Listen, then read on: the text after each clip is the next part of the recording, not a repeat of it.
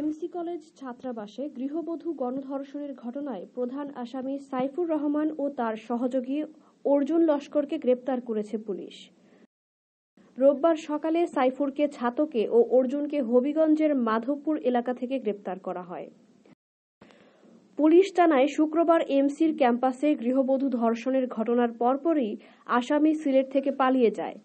পরে গোপন তথ্যের ভিত্তিতে রোববার সকালে ছাতকের ফেরিঘাট এলাকা থেকে প্রধান আসামি বালাগঞ্জের চান্দাইপাড়া গ্রামের তাহিদ মিয়ার ছেলে সাইফুর রহমানকে গ্রেপ্তার করা হয়।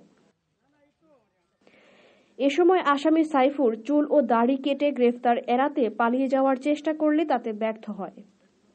এদিকে সিলেট জেলা গোয়েন্দা পুলিশের একটি দল হবিগঞ্জের মাধবপুরের মনতলা থেকে ধর্ষণ মামলার অন্য আসামি জকিগঞ্জ উপজেলার আটগ্রাম গ্রামের কানু লস্করের ছেলে অর্জুন লস্করকে গ্রেপ্তার করে। সকালে গ্রেপ্তারের পর তাকে নিয়ে আসা হয় সিলেট জেলা পুলিশের কার্যালয়ে। দুপুরে অর্জুনকে সিলেট মহানগর গোয়েন্দা পুলিশের কাছে হস্তান্তর করা হয়েছে। মূল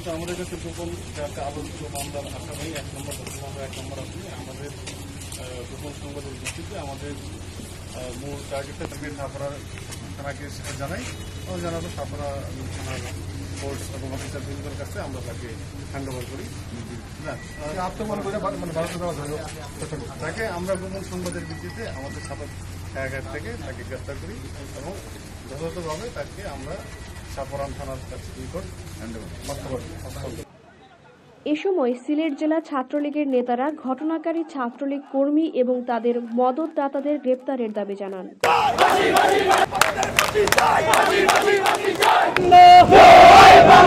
বাসি বাসি বাসি চাই জনগণের অ্যাকশন ছাত্রলীগের অ্যাকশন ছাত্রলীগের অ্যাকশন দর্শকের বাসি চাই বাসি বাসি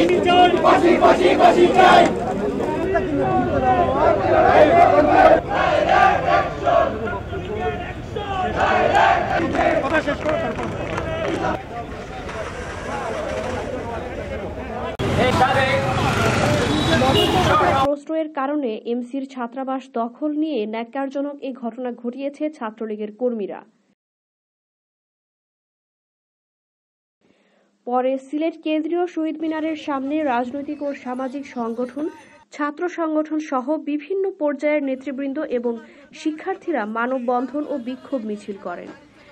গৃহবধূ ধর্ষণের ঘটনায় আসামিদের আইনের আওতায় এনে ফাঁসির দাবি জানান সিলেটবাসী সহ সর্বস্তরের জনসাধারণ।